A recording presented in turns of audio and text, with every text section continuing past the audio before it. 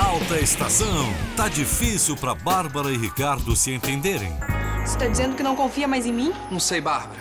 Você que viajou e não me ligou nenhuma vez. Eu liguei, você tava comendo cachorro quente com o João Pedro. E Flávia deixa Lucas chateado. Vocês estão juntos? Não, com o Lucas não dá pra ficar junto. É farra e ele é ótimo pra farra. Hoje, Alta Estação.